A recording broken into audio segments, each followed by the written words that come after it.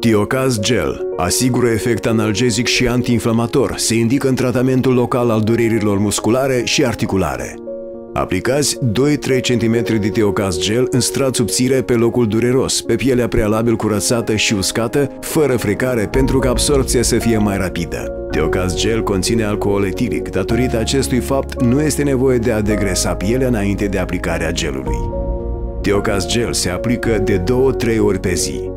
Teocaz Gel. Fii în mișcare!